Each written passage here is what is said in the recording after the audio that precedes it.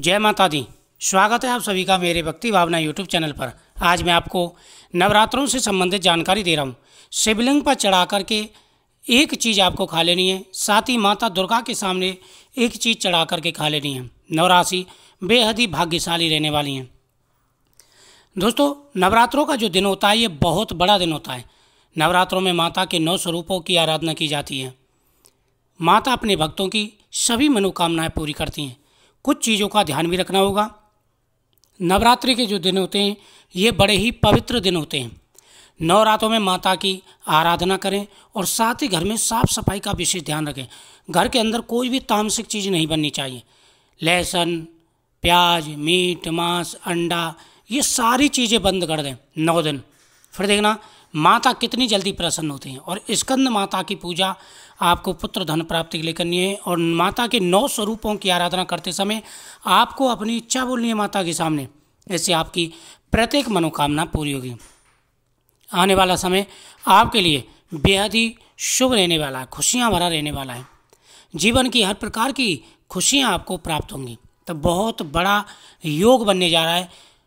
इस नवरात्रि नौ राशियाँ बेहद ही भाग्यशाली हैं। देखो, सबसे पहले आपको क्या करना है? प्रतिदिन माता दुर्गा की पूजा करनी है, पुष्प माता के सामने चढ़ाने हैं, लौंग का जोड़ा माता के सामने चढ़ाना है, एक पान का पत्ता लें, उसमें एक बतास रखें, दो लौंग रखें, एक इलायची रखें, माता के सामने अर्पण करें, माता को नैवेद्य अर्पण करें, साथ ही केले का फल माता को प्रतिदिन अर्पण करना है। केले का जो फल है, माता को प्रतिदिन अर्पण करना है और वहीं बैठ कर के माता के सामने कि, माता, मेरा ये नाम है मेरे पति का ये नाम है, या पति कर रहे हैं तो पत्नी का नाम लें। गोत्रोच्चारण करो, हमें संतान का सुख प्रदान करें। या हमारे व्यापार में उन्नति नहीं मिल पा रही है, कर्ज बढ़ता जा रहा है, उसी प्रकार से माता से निवेदन करें, फिर वो प्रसाद ज़रूर खा लें, आपकी मनोकामना पूरी होगी। वही शिवलिंग पर चढ़ा करके, देखो आपने व्रत रखा है, नवरात्रि व्रत रखा है तो आपको क्या करना है, शिवलिंग पर भी आपको केले का फल चढ़ाना है। शिवलिंग का चढ़ा हुआ प्रसाद नहीं खाते, लेकिन अगर आपको संतान की कामना है तो केले का प्रसाद आपको मूर्ति के सामने रख दें, जो भगवान की मूर्ति होती है, शिवलिंग पर तो आप अभिषेक करें। उसके बाद में भगवान की जो मूर्ति होती है, मूर्ति का चढ़ा हुआ प्रसाद खा लेते हैं तो मूर्ति के सामने आपको प्रसाद चढ़ाना है, केले का फल चढ़ाना है, और साथ ही वहाँ पर ओम नमः शिवाय मंत्र का जाप करना है, वो प्रसाद आपको, जो माता के प्रसाद के साथ में मिला करके आपको खा लेना है। माता पार्वती और भगवान शिव आपको आशीर्वाद देंगे।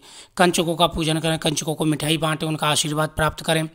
बहुत बड़ा योग बनेगा और आपकी प्रत्येक मनोकामना पूरी होगी।